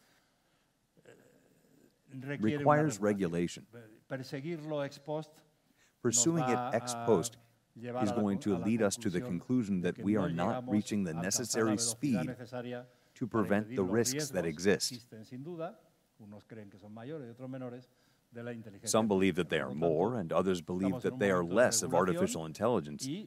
Therefore, we are at a time of regulation and the ability to apply the regulation, as the rector said earlier, to apply what has been judged. The fundamental thing about regulations on large platforms or digital markets is that the authorities in charge of applying them are effective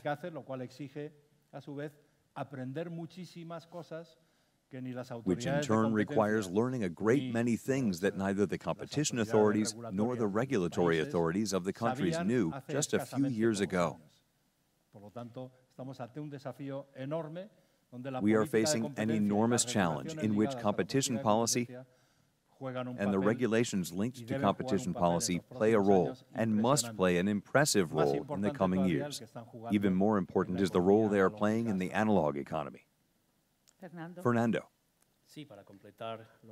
Yes, to complete what Joaquin has explained very, very well. When the Sherman Act was passed in the United States, a debate arose as to what the objective was, whether it was to protect small competitors from larger competitors, predatory conduct, and so on, or to protect consumers. Over the decades, the second option has been imposed, and a fundamental hermeneutical parameter of the right to competition has emerged which is consumer welfare, especially in terms of prices, especially in terms of prices. In other words, if there is no price increase, a restrictive interpretation of the right to competition must be made. If there is no price increase, then the conduct must be tolerated. This caused and continues to cause an impressive accumulation of power, facilitating economic concentration, facilitating agreements between companies that are hardcore cartels and in the position of dominance in the United States, for example. There are very few cases of abuse of dominance. There is now a very important one against Google, and I don't think there has has been a more relevant case since Microsoft in the late 1990s. When we transfer this to digital markets, we find that many of the services are free because, as Joaquin rightly said, we pay with our data. Multi sided markets. The consumer says, it's free. No, you are paying for it with your data, with your search preferences, and with your personal data directly in services where you are asked for some kind of registration. Of course, in that context, because the accumulation of power turns us into quasi monopolies, what they call gatekeepers, guardians of access to markets. We must always think in the short term and in the medium term. When it is free, in the short term, it will lead to a greater accumulation of power that will cause these companies to expand into other downstream or related markets, where they will increase prices so that in the medium term, the consumer's interests will be violated. But in the medium term, they will also end up with many competitors. In other words, the market is closed, or the small competitors are kicked out of the market, or they are bought out, as Professor Olmedo said earlier consumidor, the parameter of consumer welfare must be replaced by consumer welfare must be interpreted correctly, and we must think in terms of general aggregate welfare, in which, of course, the interests of consumers and users are a los intereses de fundamental and essential part.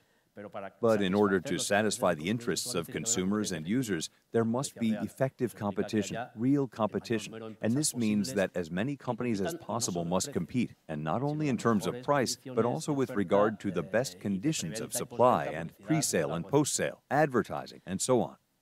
At this point, as Professor Olmedo has also commented, come the neo-Brandeisians, inspired by Louis Brandeis, a U.S. Supreme Court judge, who said that the fundamental objective of competition law is to fight against market power and thus satisfy the general interest, not just to think about prices, about a technical analysis of prices.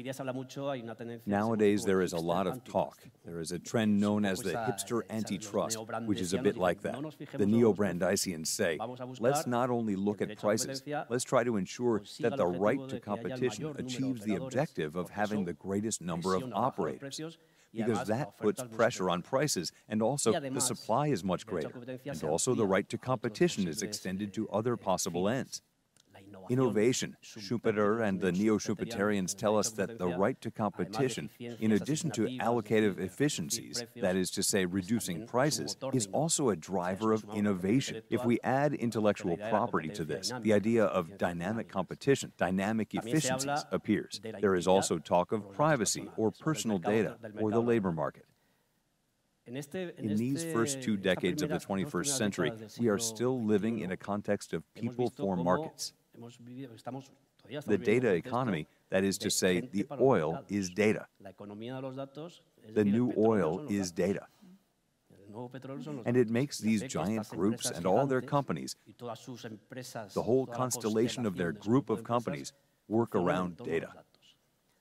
We have very significant cases, such as Google's self-preference in the autumn or September-October last year, where using personal data in Google's price comparison and in Google Shopping, Google companies or companies linked to Google are ranked higher than the rest of the companies. Abuse of dominant position. And very significant is the ruling of the Court of Justice on 4 July this year against Facebook, a case that comes from the German government, where it goes further and talks about the fact that the Competition Authority has to collaborate with the Data Protection Authority and data protection agencies, and that there can obviously be an abuse of dominance in the massive use of big data, the accumulation of data. And there may also be breaches of European regulations and national personal data regulations, and so we arrive at a paradigm shift, which is the Digital Markets Regulation of September last year, where action was taken a priori. Competition law acts a posteriori. It analyzes market conduct, agreements between companies, abuse of dominant position, in Spain, more reinforcement for unfair acts, and assesses whether or not competition is affected. Now we are acting a priori. We are not talking about a dominant position. We are talking about basic platform services, and we are talking about gatekeepers. Thus, large operators that meet a series of qualitative and quantitative conditions will be qualified by the Commission as gatekeepers. A decision of 6 September this year designated six gatekeepers for eight basic platform services. The GAFAMs, the infamous GAFAMs, and from here, what the regulation on digital markets, fair and equitable markets, which is what it is called, which is very significant, does for this change of people for the markets or markets for the people, establishes a series of obligations that are prohibitions. You can't do this, for example, in relation to the and I end to the Facebook case. You can't combine personal data that comes from different basic platform services that are accumulated in the same company, which is the case of Facebook, which bought Instagram and bought WhatsApp. So when we say in a WhatsApp group that we want to go for a walk in Turkey, we already have personalized advertising. Moreover, excluding others, other operators, and we are in that change, in the regulation of contestable and fair markets that says this is prohibited, except for a series of exceptions. And it also leaves the door open for the European Commission to extend these, these conducts that would be prohibited, these obligations, an a priori action that is clearly a regulation, but which does not exclude the continued application of traditional competition law in cases where the conditions for this do not apply. And then we have the right to damages. Tort law has an important deterrent effect, damages for anti competitive offenses, because penalties can be foreseeable and can even be counted. We are talking about penalties. Google has been fined 4.1 billion euros for one case and 2,400 euros for another. But I was saying before, 8,000 maybe. Well, maybe if we pick our own pockets, it's something similar for them, although the penalties increase a lot. But the actions of the year are unpredictable. So the deterrent effect is important. The problem is that we do not have adequate procedural weapons to make them effective enough to make that deterrent effect a reality. That's great. So, more information, speeding up claims for damages, and further deepening digital regulation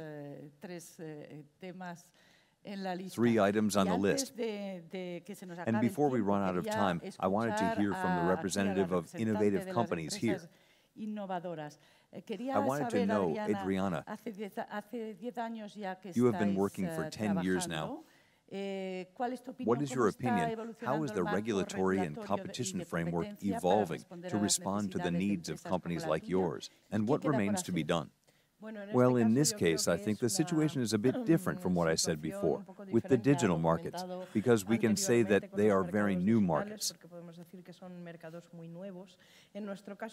In our case, it is true that the insect protein market it is a new market. But it is subject to regulations concerning the whole issue of grain, the whole issue of raw materials, and so on. So in our case, obviously, when this whole adventure began, there was absolutely nothing regulated.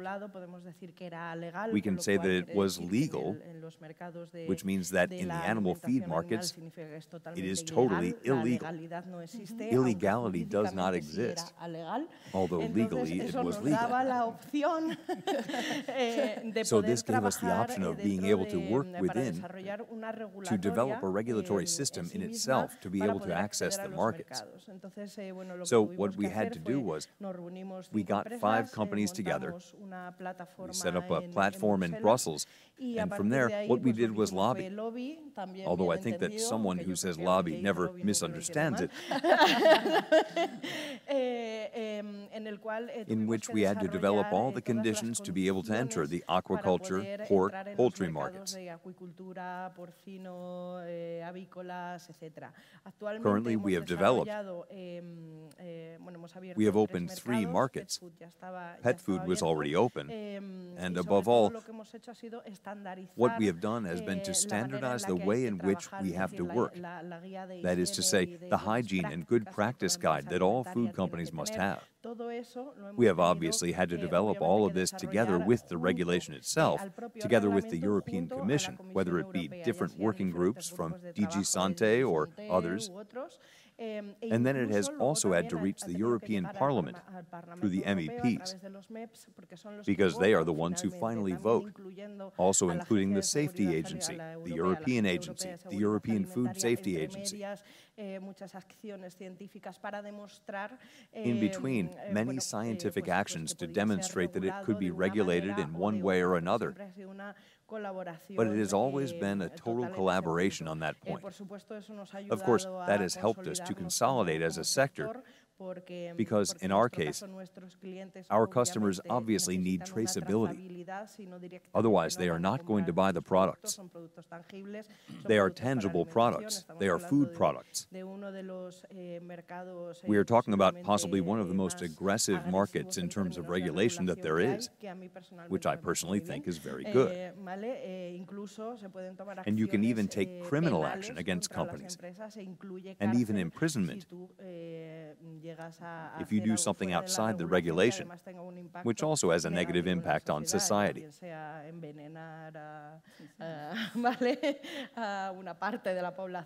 Whether it is poisoning part of the population or, well, even just 10 people, because you have broken the regulation regulación. Entonces, bueno, estas So, well, these eh, regulations are very positive because they eh, give us the option to consolidate the sector, pero sector. también es verdad But it is also true that there are other types of sobre las que regulations in the sector that are not always in place, which we eh, are working on, which are basically to create much more circular models within I am referring to the insect sector, in which it is much more difficult to work together with the European Commission because we still have policies from 20 years ago, from what happened with mad cow disease. So now, well, what they have to do somehow is to ensure that this situation does not happen again, not simply that we cannot be considered, eh, no podamos desa desarrollar una, eh, eh, unas nuevas we cannot develop new feeds for insects, reducing the waste, for example, that is generated in the European Union when it is also one of the strong points of the farm to fork strategy the European Union has. Simply because we have not worked on something that has happened and we are afraid of it. Well, let's move on. There is still a lot to do in terms of regulation. Another very important part is to consider insects organically. Well, your traceability has to be all organic, yes, but if we want to consider them as a source, not as having something tiny, but as a real source source of new raw materials to complement that need, because it is not a question of taking anyone out, but of complementing the real need that exists. Well, obviously, and also knowing scientifically that all those residues of pesticides, etc., that the insect, thanks to the way it works biologically, makes them disappear, I think it is also very positive to be able to introduce them not only in conventional markets, but also in organic markets, because the product disappears. Those who cannot comply with the organic regulation and also try to lower the prices of organic products because the cost is the same for the producers of raw materials based on insects.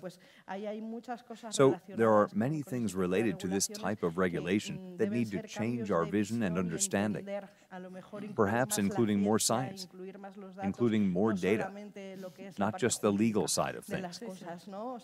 I think in the end we have to build together, not each on our own.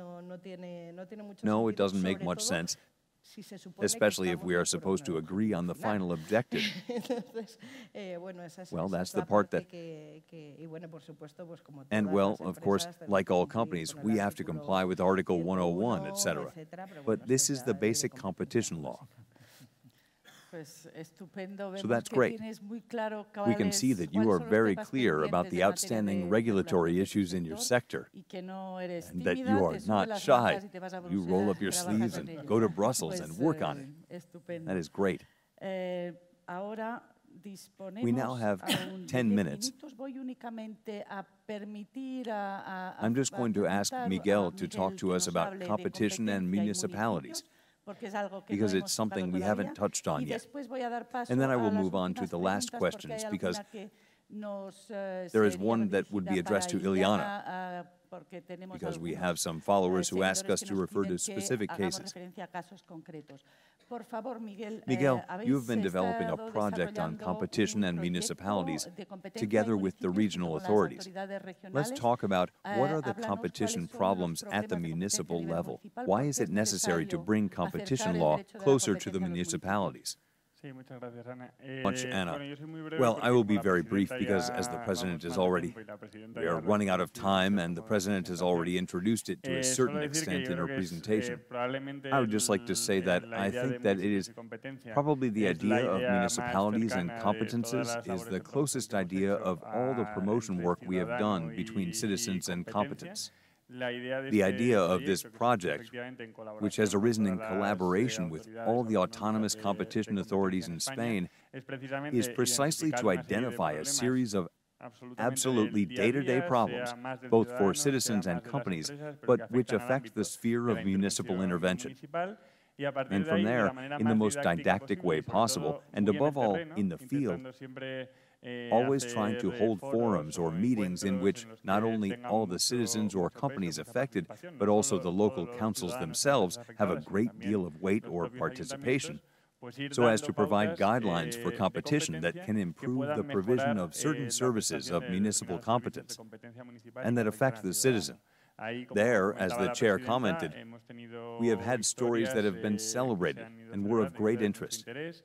There is the issue of urban mobility, the deployment of renewables, funeral services, which is always an area in competition law that generates many problems, many public procurement issues.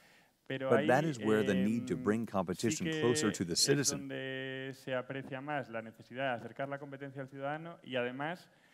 and also the effort to know municipal regulation very well can be appreciated.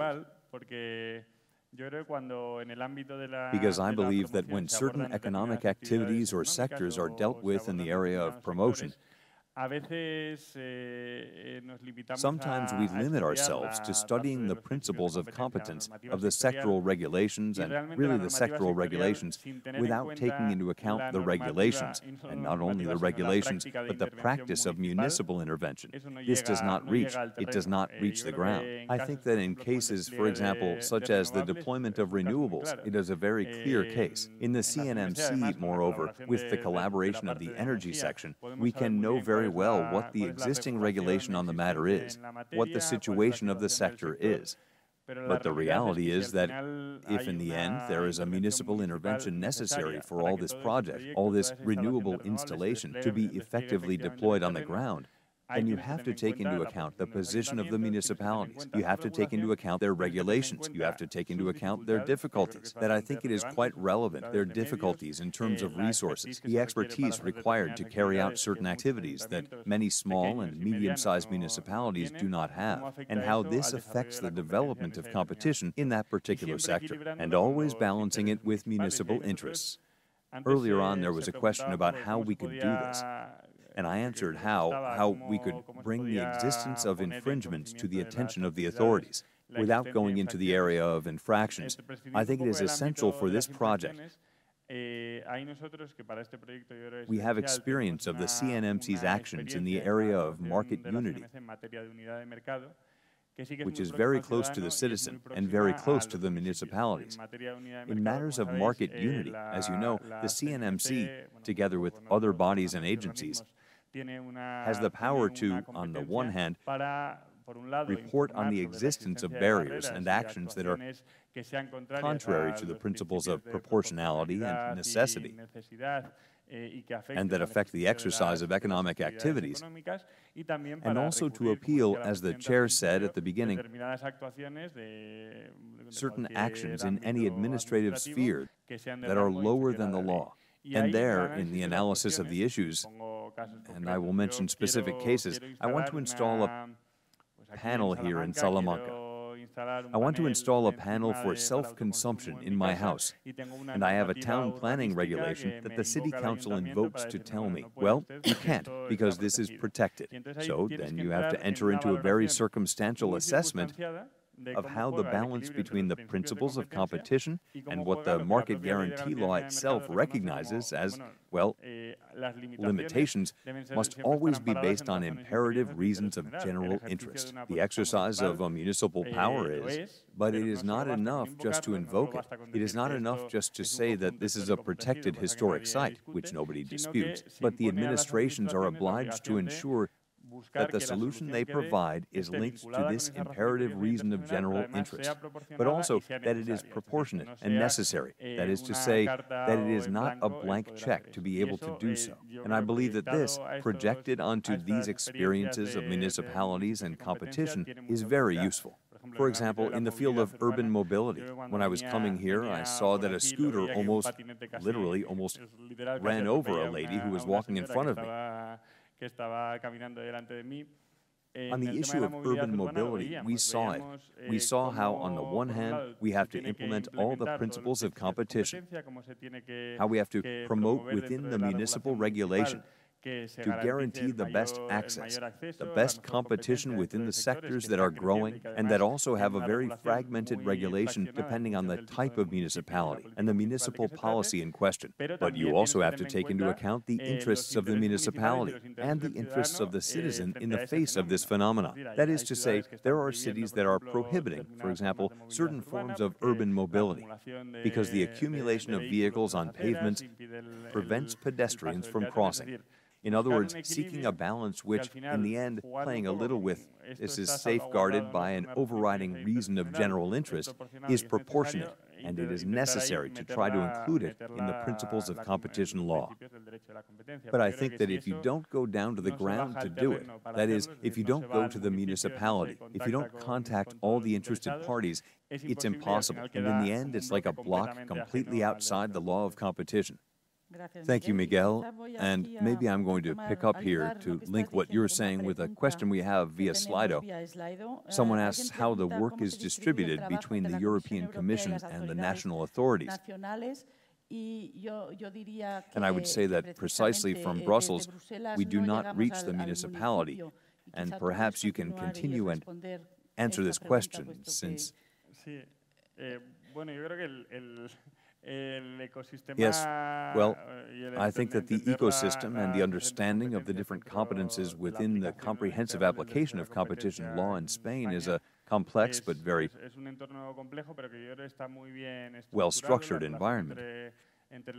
The relationship between the European Commission and the CNMC has to do above all with the decentralized application of Articles 101 and 102 of the Treaty on the Functioning of the European Union eh, puede, puede siempre asumir el, la, el, bueno, la, la, the European Commission can always take on the processing of sanctioning procedures in the application of these articles, but this is generally done by the authorities of the member states, always with a mechanism of communication with the European Commission, and even Effectively, it is difficult for the European Commission to reach the municipality, but that is precisely why this project on municipalities and competences is linked to the autonomous authorities, because the CNMC has a lot of them. Of the issues that are raised, cover or concern the regional competition authorities. Therefore, this coordination is necessary for us as CNMC beyond the more transversal competence of market unity to promote and coordinate with the regional authorities because they are the ones, for example, in the case of urban mobility, it is very clear they are the ones who face the problem on a daily basis. And I also believe that these types of more municipal problems are a priority. So, in the end, in order to tackle these problems that reach the municipality, I think that sometimes it is necessary to involve the three bodies, namely the CNMC, the Commission, and the regional authorities. Thank you. Ileana, I also have a question here that perhaps you can answer directly. I am asked for concrete examples where competition cases have resulted in lower prices. Thank you, Ana, for your question. Let's see, we have collaborated a lot with the CNMC. As we said in the last step, when there is no other option, we file complaints, and during the last five years, we have filed 15 complaints, which, as we said, we don't know if in the end, well, they have borne fruit because they have been sanctioned. And I'm going to highlight three that I think are important and that have obviously generated repercussions in the market. One is half done. You still have it there in the to do list. I'll remind you of it, I'll take advantage of it. The first first of these is one of a drug, which I'm sure you remember, called, I don't want to say it badly, Leadiant. Leadiant was a drug that, taking advantage of the orphan drug legislation and a rather cumbersome legislation, multiplied its price per pill by a thousand. That is, that pill cost 0.145 euro,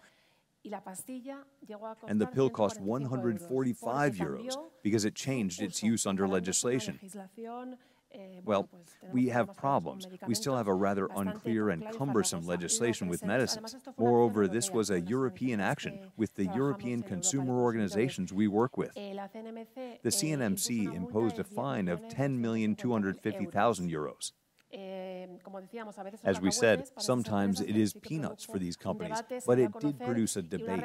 It became known, and it had a negative impact on the reputation of this laboratory. Another one that I mentioned a moment ago, the Audax Renovables case, did lead to a Firstly, there was also a significant fine, 9 million in this case, and it was for unfair competition. The CNMC determined that the practices were indeed unfair to energy companies that were doing well. This company called, said it was your own company, offered you discounts that were false. In other words, it was clearly lying. It was misleading consumers who switched companies. This company was eliminated. It was fined and has therefore stopped these practices. So no price reduction, but clarify. And this company has run out of customers. And the last one, which I think is also very closely related to the question asked by the colleague who is sitting there about inflation, is a complaint we have filed on reduflation, which is still under study.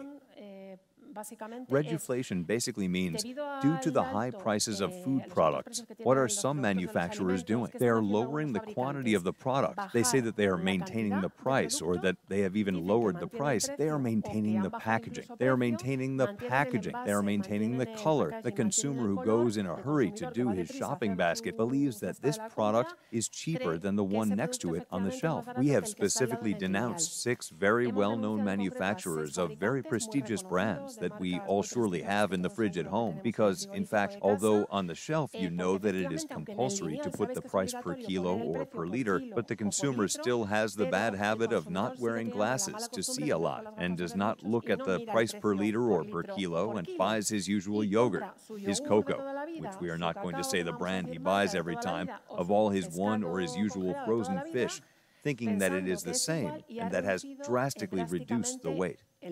So we believe there is clear unfair competition towards manufacturers who are not engaging in this behavior. And of course, there is a clear deception of the consumer because you cannot say we are maintaining the price or lowering the price. No, no, what you are reducing is the quantity. So there is a covert price increase. That is in the hands of the CNMC in the hope that in the end they will do something for the good of all consumers. And that is what I can tell you. Thank you very much. Thank you. Thank you. Well, we're running out of time, but I'm going to open the floor. We're going to, there's time for a question from the floor. No one's up for it? Well, then I'm going to continue with the ones we have here via Slido, with the ones that don't come in remotely. And I'm going to have to choose because there's not enough time. There is a question that says, do you think that all sectors of the economy should be open to competition? And, for example, health. This is a question asked by Monica. Fernando? Fernando? No, I say that everything, every sector, every economic operator, and every sector is subject to the right to competition. What happens is that there are regulated sectors. This is where an administrative law regulation comes into play, which determines the market conditions. But it is also informed by competition law. That is true.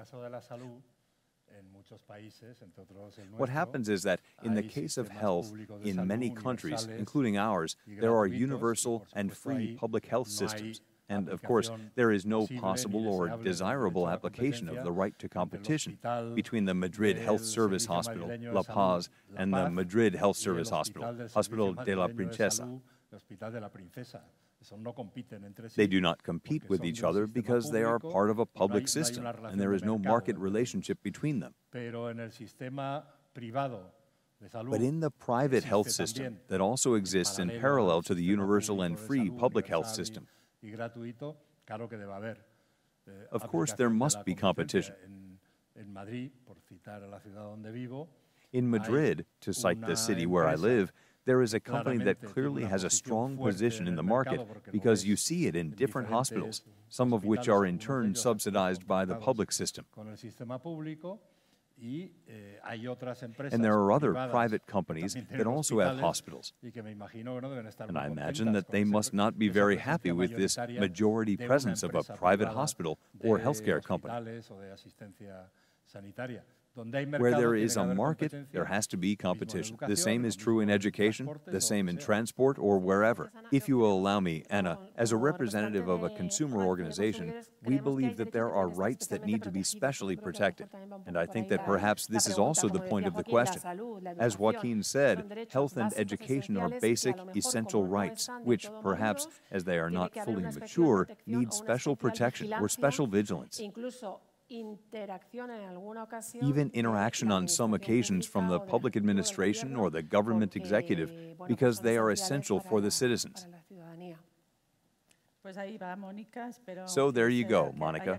I hope your question has been answered. Y hasta aquí, Markets And that is the end of Markets for People Eh, in Salamanca. We are already three minutes over the allotted time. Previsto. Ya solo me queda It only remains for me to thank the audience for being here.